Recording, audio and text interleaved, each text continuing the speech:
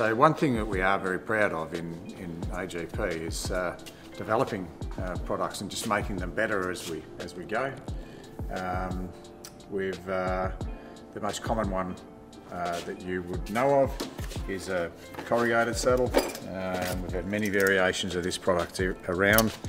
Um, and what we've done is we've uh, developed it even further to make sure that it gets the, the, the maximum sealing and the maximum strength through its through its um, uh, ability not to be able to, to come out of shape.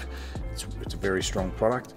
Um, and we're really proud of that because that's you know it's just something that we you know the little things make a make a difference. Um, we've now got them in all the Colorbond colours, um, and obviously it's made out of Colorbond steel.